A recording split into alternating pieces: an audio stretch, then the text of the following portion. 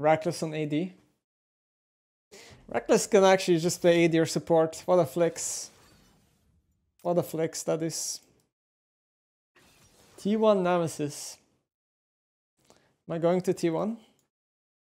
Actually, Arnold asked me the other day if I want to go Academy in Gen.G. He said, pull a Rekkles.